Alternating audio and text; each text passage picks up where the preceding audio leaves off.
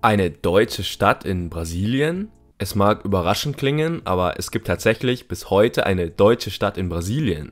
Sie heißt Blumenau und befindet sich im Bundesstaat Santa Catarina im Süden Brasiliens. Die Stadt hat über 300.000 Einwohner, ist bekannt für die urigen Fachwerkshäuser, die Gartenzwerge und das zweitgrößte Oktoberfest der Welt. Doch wie entstand diese deutsche Stadt am anderen Ende der Welt? Welche Traditionen pflegen die Einwohner dort? Und warum ist die Stadt bis heute so deutsch geprägt?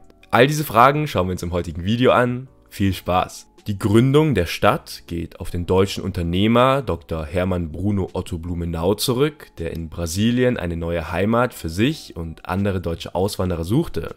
So reiste er im Jahr 1850 mit einer kleinen Gruppe von 16 anderen Auswanderern bis an die Ostküste Südamerikas. Er hatte dabei einen klaren Plan gefasst. Er wollte eine Kolonie im unbewohnten Dschungel Brasiliens gründen.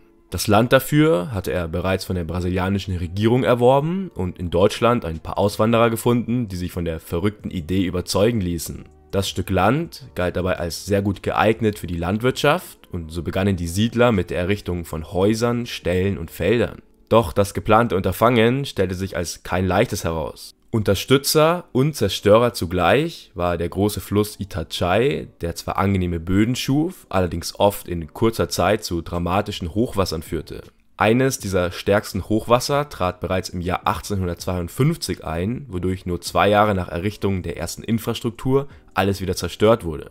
Doch die Auswanderer waren hartnäckig, sie gewöhnten sich allmählich an die Hochwasser und lernten im Einklang mit dem Fluss zu leben auch wenn er in den nächsten Jahrzehnten immer wieder zu Hochwasserkatastrophen führte, waren die Deutschen nicht von ihrem Ziel abzubringen. So wuchs die Stadt weit über die Ufer hinaus, sie florierte immer weiter über die Zeit und zog so immer mehr Auswanderer auf der Suche nach einem neuen Leben an. Und da diese Auswanderer hauptsächlich Deutsche waren, wurde die deutsche Kultur und Sprache mitten im brasilianischen Urwald auch weiterhin gepflegt. Bis zum Zweiten Weltkrieg war Deutsch auch Amtssprache, erst danach wurde es im Zuge einer Nationalisierungskampagne der Regierung durch das Portugiesische abgelöst. Trotzdem haben auch heute noch circa die Hälfte der Einwohner deutsche Wurzeln und viele können neben Portugiesisch auch weiterhin Deutsch. In vielen Teilen sprechen die Menschen dabei auch ein spezielles Deutsch mit starken portugiesischen Einflüssen. Die Stadt wurde später dann auch nach ihrem Gründer benannt und bis heute sehen wir ihn auch auf der offiziellen Flagge Blumenaus. Heutzutage ist die Stadt dabei vor allem bekannt für die deutsche Architektur mit prächtigen Straßen und Gebäuden im Fachwerkstil. Am bekanntesten ist aber wohl das Oktoberfest, das dort tatsächlich auch vollständig im Oktober stattfindet und 18 Tage lang geht. Es ist eine Hommage an das berühmte München Oktoberfest und zieht jährlich Hunderttausende von Besuchern aus ganz Brasilien und der ganzen Welt an. So ist es mittlerweile sogar aufgestiegen zum größten Oktoberfest außerhalb Deutschlands und es kommt im Original in sehr vielen Bereichen schon sehr nahe. Es gibt traditionelle Bierzelte, dieselben Lieder werden gespielt, die Menschen tragen Tracht und typische deutsche Speisen und Getränke werden verzehrt. Das Volksfest wurde dabei von den Brasilianern sehr gut angenommen und es verzeichnet mittlerweile über 800.000 jährliche Besucher. Somit ist es neben dem Karneval in Rio das zweitwichtigste Volksfest in ganz Brasilien.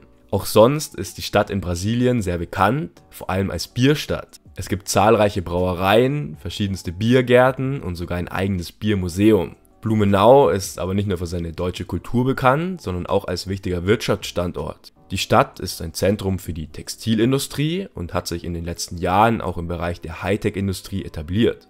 Zudem hat auch der Tourismus in den letzten Jahren stetig zugenommen. Viele Brasilianer wurden dabei angezogen von der für sie sehr ungewöhnlichen deutschen Kultur und so konnte sich die Stadt bis heute halten. Es wurden sogar im Nachhinein noch viele Fachwerkshäuser und andere Gebäude mit deutscher Architektur errichtet, um die Besonderheit der Stadt weiter aufrechtzuerhalten. Insgesamt ist Blumenau auf jeden Fall eine sehr einzigartige Stadt, die sich ihre deutschen Wurzeln bis heute bewahrt hat, aber auch sehr modern und fortschrittlich ist. Sie ist ein wichtiger Teil der brasilianischen Kultur und ein interessantes Reiseziel für alle, die mehr über die deutsche Einwanderung in Brasilien erfahren möchten. Kanntet ihr diese außergewöhnliche Stadt? Schreibt es gerne mal in die Kommentare. Deutschland hatte ja auch weitere Überseegebiete, zum Beispiel im Südpazifik. Auch darüber habe ich schon ein eigenes Video gemacht. Ich verlinke es euch direkt hier. Viel Spaß beim Anschauen und ich sage ciao.